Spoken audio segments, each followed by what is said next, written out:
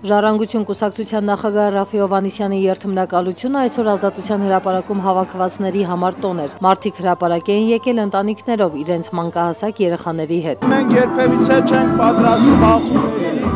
Ինձ մնացած բոլոր դեպքերում պայքարի առաջի գծում իր ընտանիքի անդամը պետք է լինի մեծ միասին։ Հակառակ բարակամ ես ուրիշին ոչինչ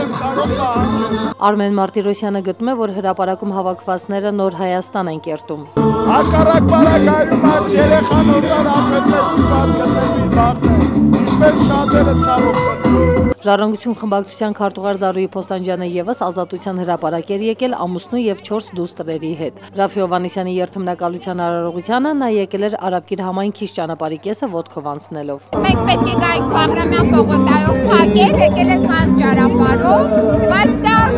խոչընդոտ չէ։ Եթե դա է խոչընդոտը, ապա այդ խոչընդոտը շատ հեշտ հաղթահարելի է նույնիսկ երեխաների հետ։ Տիկին Փոստանջյանը վստահ է, որ այսօր որևէ բախում չի լինելու իր խոսքերի ապացույցը այսօրվա միջոցառումներին իր երեխաների մասնակցությունն է։ Մեր հայրենիքում մեզ վախը չպետք է մտահոգի։ Մենք մեր հայրենիքում ենք, մեր ազատության հրապարակում, մեր մայրաքաղաքում։ Այստեղ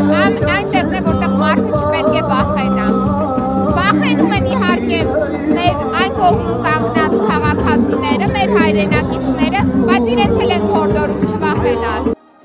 Էրիցյան, Կարեն Չիլինգարյան, IPF